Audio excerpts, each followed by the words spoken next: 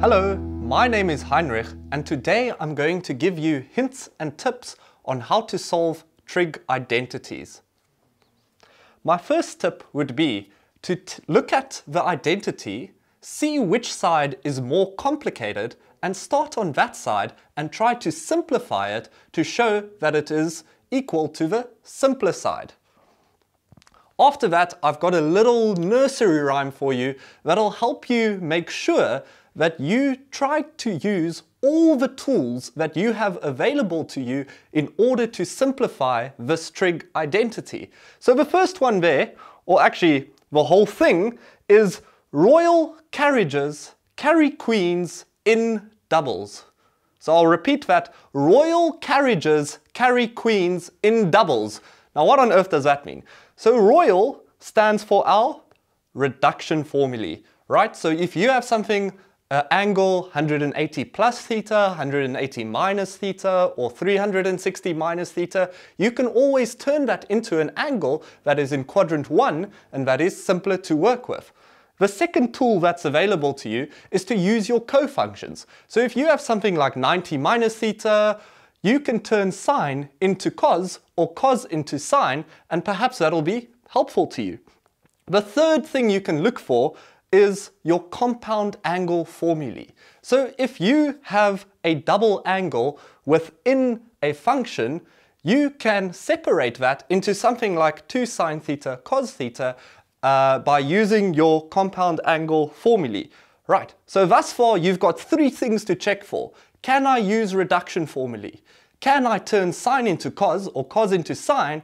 Or can I use compound angle formulae? Then we move on to queens. So queens stands for quadratics. So very often these sine functions or cos functions try to disguise themselves as a quadratic. So a quadratic is something in the form x squared minus 2x plus 1 equals something, 0. Right, so often the x is replaced by a trig function like sine or cos, and that will be in the form of sine squared theta plus sine theta plus 1 is equal to 0. So that's exactly the same as a quadratic function, but instead of having x be the thing that's being squared, we now have sine which is being squared. So if it's easier for you to see that you have a quadratic, you can substitute in x for sine theta or cos theta to find something in the form x squared minus 2x plus 1 that's easier for you to work with. Then you have identities. So your grade 11 identities are your best friends. Sine squared theta plus cos squared theta equals 1 always comes to mind when you see a sine squared or a cos squared, and whenever you see a tan theta, it's almost certain that you'll get benefit from turning that into sine theta over cos theta. And then doubles stands for our double angle formulae. So when you have an angle plus another angle within a trig function, it makes sense to try and use your double angle formulae in order to expand it first and hopefully then simplify it further so you can show that what you had is equal to what you want to show that it is equal to. Right, so the nursery rhyme is royal carriages carry queens in doubles.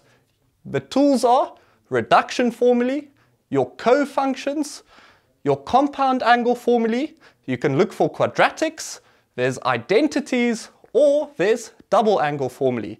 Now those six things are the tools that you can use to simplify trig expressions. But Sometimes trig identities are just that little bit too complicated or there's a bit of problem solving involved and you can get stuck on it for half an hour, 45 minutes if you just let yourself go a little bit.